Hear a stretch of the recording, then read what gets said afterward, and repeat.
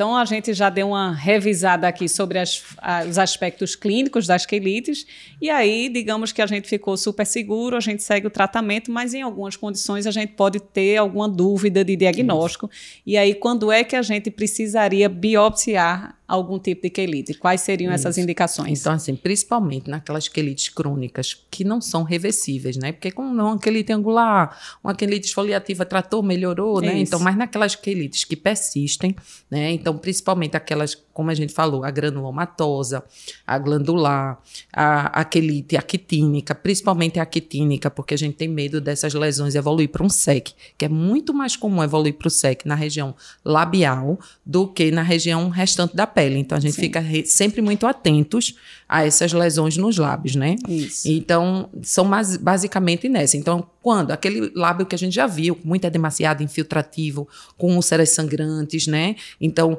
é, que tem uma. Às vezes tem literatura que fala se tiver uma leucoplasia, deveria já biopsiar, mas isso a gente sabe que é um pouco controverso, porque tem leucoplasias que não têm atipias, né?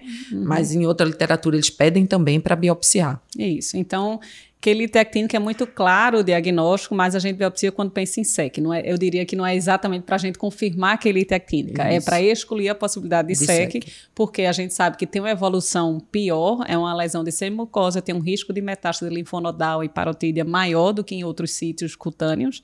Então, indicação, suspeita de SEC quando a gente já tem uma quelite actínica, nessas quelites com aumento de volume, né? Isso. Pensando uma quelite glandular, ou granulomatosa, hoje eu estou trocando granulomatosa, né, que pode fazer parte da síndrome ou não. E, curiosamente, também alguns, alguns pacientes com doença de Crohn podem apresentar quelite granulomatosa. Isso. Lembrando que doença de Crohn, doença inflamatória intestinal, que apresenta granuloma no histopatológico, né, na, na biópsia de, do adenal, enfim, de mucosa intestinal, e pode, inclusive, afetar, né, da boca ao ânus. Então, você pode isso. ter, inclusive, presença de granuloma na, no lábio. Mas isso é exceção também. Então, a gente precisa da biópsia, todo o contexto clínico do paciente paciente para fechar esse diagnóstico.